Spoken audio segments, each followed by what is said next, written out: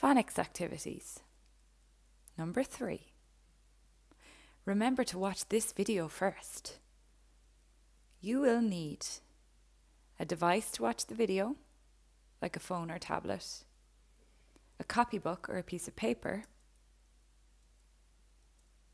a pencil, your imagination. What you need to do pick four different letters from the video. So, four different letters from the last time. Write them in your copy.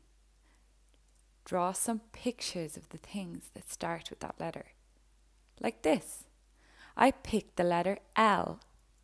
L. Lion. Lollipop.